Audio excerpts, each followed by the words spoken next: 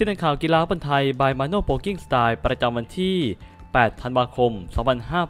2564 โดยเฉพาะครั้งฟุตบอลไทยครับ เรามาดูข่าวบอลไทยในช่วงของเที่ยงวันนี้กันครับ ว่าจะมีข่าวอะไรน่าจะกันบ้างฟุตบอลไทย ช่วงเที่ยงวันนี้ เวียดนามเปิดชื่อทีมที่ต้องการเกรงศักยภาพมากกว่าทีมชาติไทยในครั้งนี้ โดยงานนี้นะผมสำนักงานข่าวใน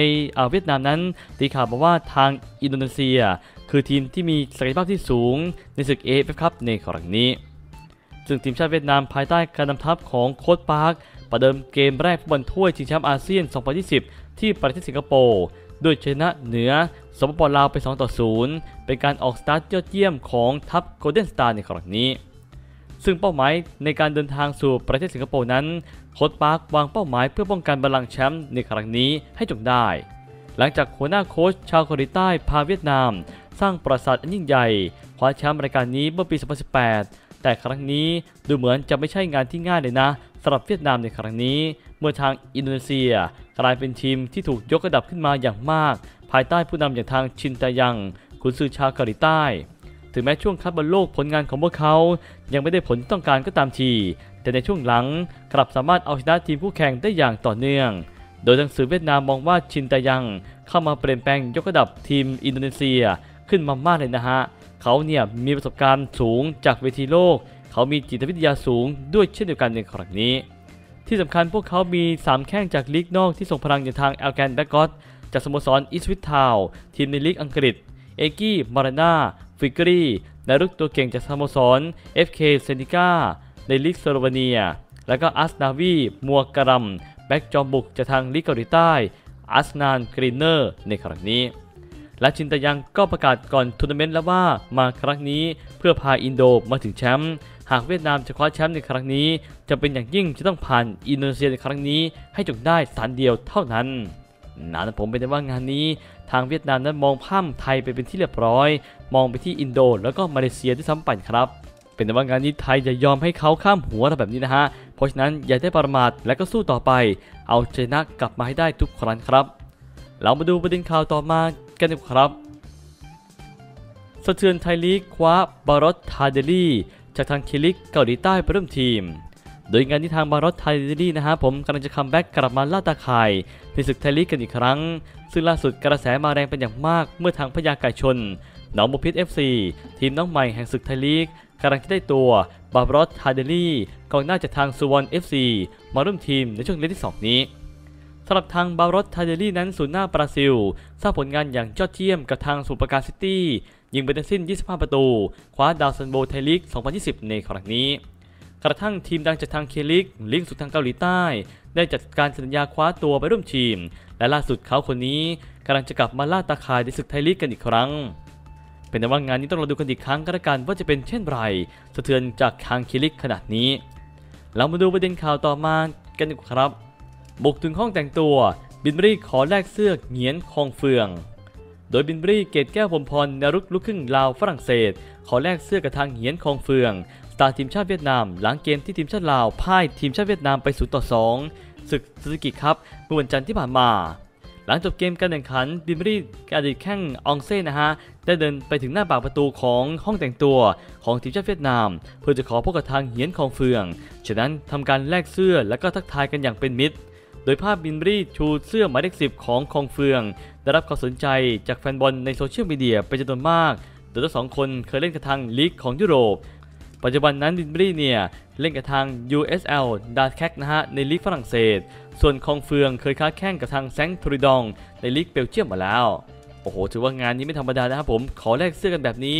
ถือว่านับถือในความสามารถของเหงียนคองเฟืองนั่นเอง เรามาดูประเด็นข่าวต่อมากันดีกว่าครับ ไทยยิ้มเลยสื่อรายงานกองหลังลูกครึ่งปินส์หมดสิทธิ์ช่วยทีมเป็นที่เรียบร้อยโดยทางอาเซียนฟุตบอล .info นะฮะสื่อเกาหลีใต้ออกมาการรายงานมาว่ากองหลังทีมชาติฟิลิปปินส์ ชุด AFF Suzuki Cup 2020 จะพลาดโอกาสในการเข้ามารับใช้ทีมในทัวร์นาเมนต์นี้ เนื่องจากติดปัญหาเรื่องของการเข้าเมืองในประเทศญี่ปุ่น ซึ่งในช่วงเวลานี้การแพร่ระบาดของไวรัสโควิด -19 สายพันธุ์โอมิครอนกำลังขยายตัวไปทั่วโลก ทางประเทศญี่ปุ่นเองก็กำลังเข้มข้นต่อการเดินทางเข้าออกประเทศในครั้งนี้โดยทางด้านของสื่อดังได้ออกมารายงานมาว่าเจฟเฟสัน ทาบินัสกองหลังลูกครึ่งกาน่าฟิลิปปินส์ วัย 23 ปี ที่เกิดในย่านชินจูกุประเทศญี่ปุ่น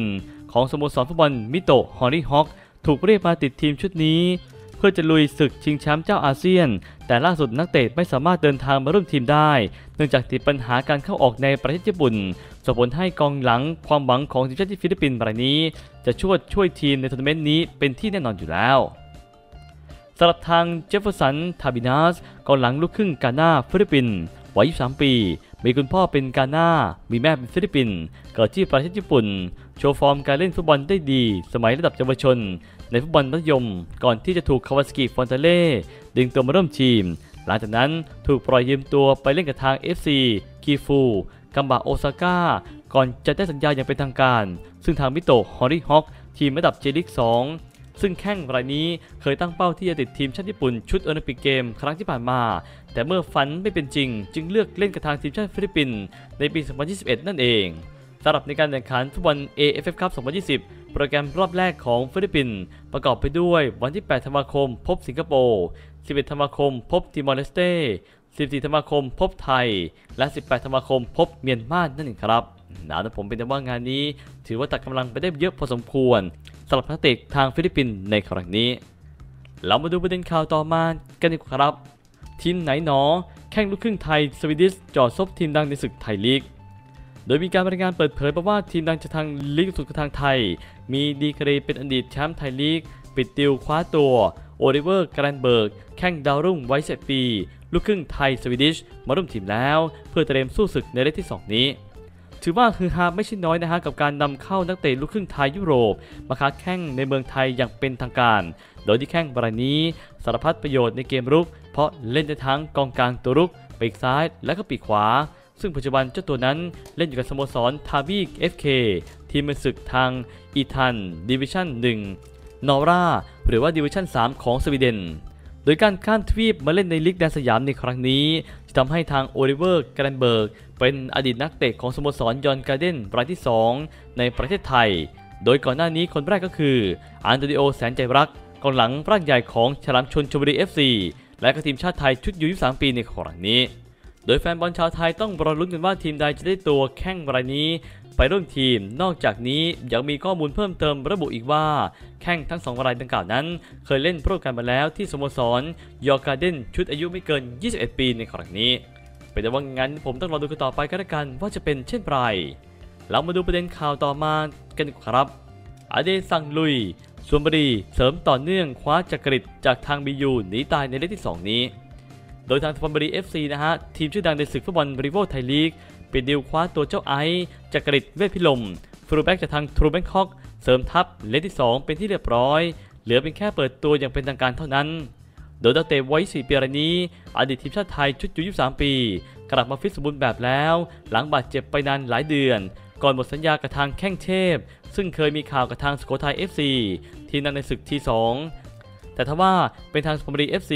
ที่เดินหน้าปิดดิวคว้าตัวมาก่อนเป็นที่เรียบร้อยอย่างไรก็ตาม ก่อนหน้านี้นะฮะทางจักริด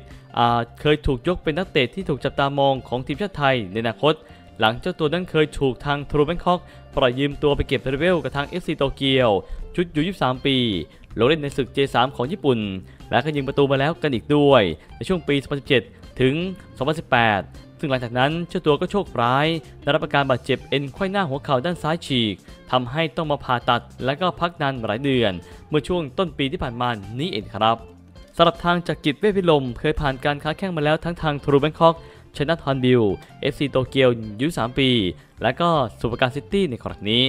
ส่วนทางทีมชาตินั้นเคยติดทีมชาติไทย ชุดเยาวชน ตั้งแต่ U19ปี U21ปี และก็ U23 ปีในครั้งนี้ และนี่ก็เป็นที่นักข่าวกีฬาฟุตบอลไทยบายมาโนโบกิ้งสไตล์ประจำวันที่ 8 ธันวาคม 2564 โดยแชมป์ครั้งฟุตบอลไทยครับ